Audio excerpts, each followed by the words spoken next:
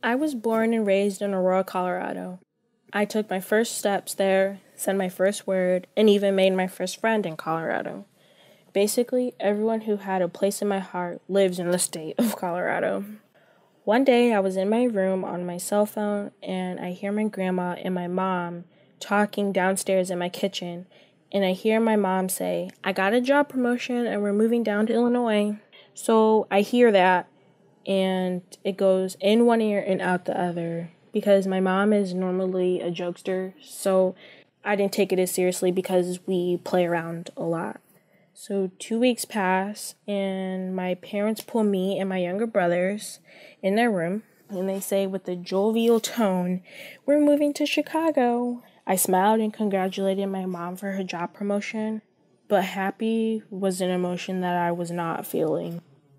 My parents made the plan to move out to Illinois first and set up the new house.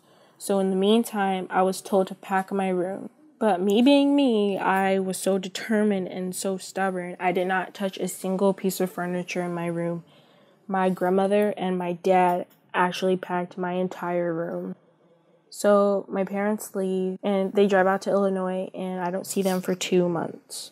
November was a set month for me and my brothers to fly out there to Illinois. November comes by really fast, and I say goodbye to my entire family and my friends. A lot of tears were shed that day, and I mean a lot.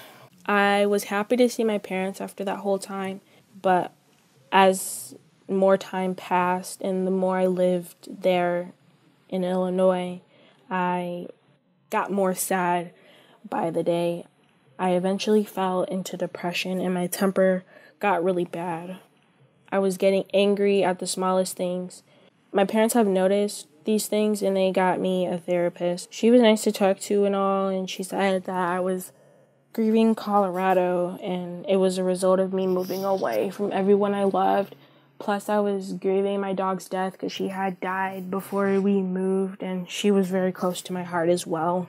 I've made friends here in Illinois, and my school and the people here are nice and welcoming. So, meeting those people has helped me a lot big time. Like, I have been laughing and smiling. Uh, as for today, I'm still not genuinely happy because I'm very family oriented, and just me seeing all my family and my friends on social media hanging out together, it's just sad because me and my family were always a part of that, and just the thought of us not being there is just heartbreaking. But I am grateful because Illinois has brought me opportunities that Colorado couldn't. So, as Time Arrow marches forward, I guess we'll have to see what life brings me next.